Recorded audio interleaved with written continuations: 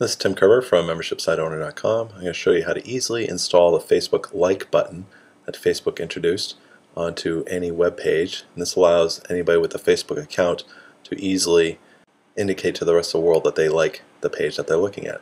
This helps spread the word virally about the page. So the first thing you're going to do is going to go to the link that will be at the bottom of this article, but it's developers.facebook.com slash docs reference plugins like.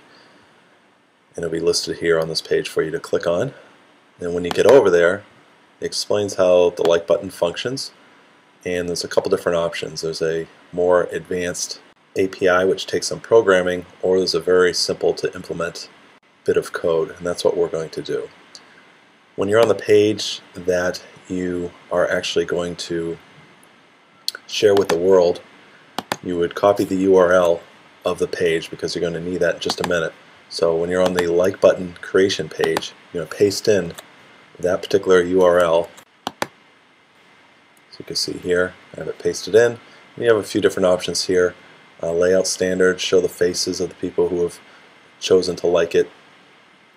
And also change the wording just a little bit between like or recommend.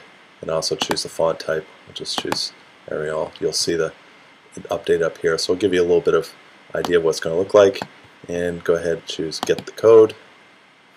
And what you want is this iframe code. So just go ahead, highlight that, and then copy it. And go over to the page that you're editing. So I'm going to edit this page here. Scroll down, and you would paste the code right into the article itself. So here's an example of the code pasted in here. If you look in here, you'll see that it references the page that the like button is on. It's in the code right in here. There's also some other things you can tweak in here if you want to. Um, for example, the width of the, the box itself, the like iframe box that comes up, be 450 pixels. And in this case, there's no height set. I'm going to set the height to about 75 so it doesn't take up too much space on the on the site on the article. I'm going to put it in and we'll get rid of the here. I'll just apply the changes and you'll see the like button come up down below here.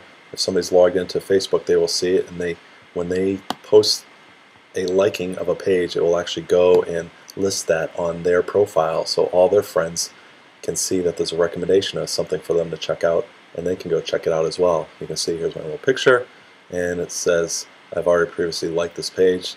So that's it. That's how easy it is to install the Facebook like button on any web page.